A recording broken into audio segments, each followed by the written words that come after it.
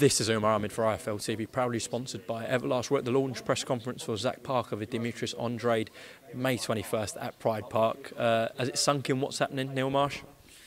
Yeah, you, you know, I've been about a long time now, so um, you, you, to say the the experience keeps you, keeps your feet on the ground. So, you know, of course it's sunk in, but you know, I, I do have excitement for Zach. It's it's a great day for him. So.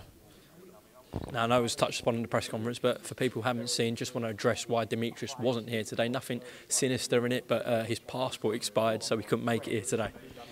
Yeah, you, you can read what you want into that. Um, we do believe Demetrius is a professional. I think he loves the, the bright lights, and uh, deservedly so.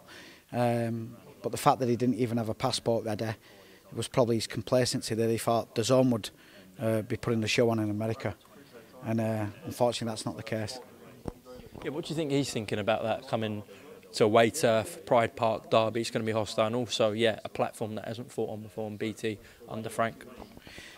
Listen, he can he can be as confident as he likes, um, but nobody's happy going away. Full stop. You know, let's.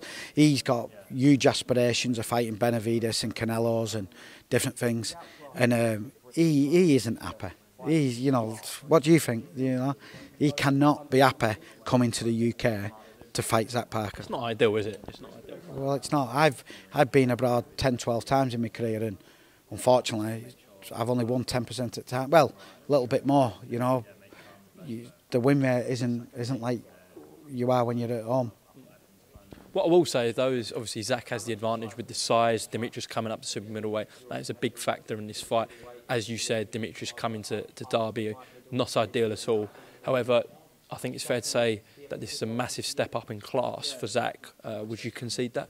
Yeah, million percent. I've got no doubt that um, it is a step up in class.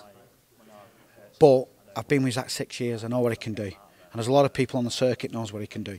You know, we've had we've had him sparring overseas. We've had uh, decent names in the UK, and it all comes down to preparation. Um, I don't think Zach's out of second gear yet, and we're going to prepare him one million percent. You know, I've done a lot of camps for big fights, and we know exactly what Zach Parker needs, and he will be properly prepared for that night. So I'm, I'm not um, I'm not concerned about the, the levels they've boxed at, because he'll be prepared at that level. What did you think about Demetrius saying you've seen nothing like this before? It talks cheap. Um, and he could say the same about what we're saying. But the only thing I think Demetrius has got is is, is not the most pleasant style. Um, but again, it comes back to preparation. And by the time Zach Parker gets in that ring, he'll be sick of that style, where he wants to take all his anger out on it. So, you know, you know, it's about how good your team is as, as well as what happens on the night. And it's our job to get him properly prepared, and we will do. And if that happens, he's properly prepared going into May 21st. Ultimately, you believe Zach Parker knocks out Demetrius Andrade? Yeah, 100%. He'll knock him out. Um, you, you've been ringside enough times. When, when he punches and he connects, the opponents crumble. Now, Demetrius Andrade's been hurting off light middles. If, if Zach connects, he's, he's going. Um, got no doubt about it. And a star's going to be born on that night. And some of the viewers will question it at the moment, and you're all entitled to your opinion. And you know, thanks for thanks for looking on iFL, and but just judge judge us on our words after the fight, because we didn't need to take this fight. We could have let Frank give us a couple of more fights, but we're ready. We're we're ready for this fight, and you know, just just tune in. It's going to be a great night. Frank believes that uh, the place will be sold out, 30 plus thousand. Uh, is that your ambition as well? I, I don't think Frank said it would be sold out, but there is 33,000 seats. Uh, we have a very, very realistic uh, number. And uh, spoke to the people at Derby, and uh, especially Angela, who's been fantastic. And uh, they've had a great first days in sales. So if anyone, I've seen a couple of comments, it might not do uh, 6,000, things like this going really well. And fact, no, no, I'm not going to say numbers, um, um, but it's going well for the first day. And uh, I want to thank all the Derby fans.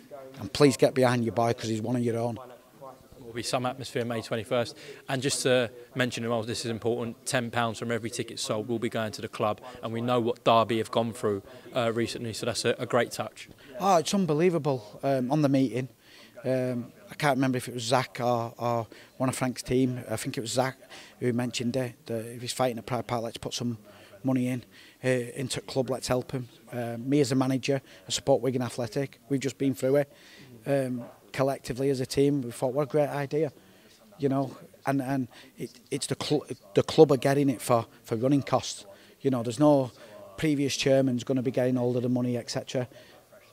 The the club's getting it for running costs, and what a what a great you know gesture from Frank. Neil Marsh, thank you very much for talking to IFL TV. Best of luck uh, with Zach May 21st, and also we'll have a catch up about David Avanesyan soon. All right, thank you. Okay, thank you very much. Welcome, Team Everlast, to the Team Everlast Fitness app.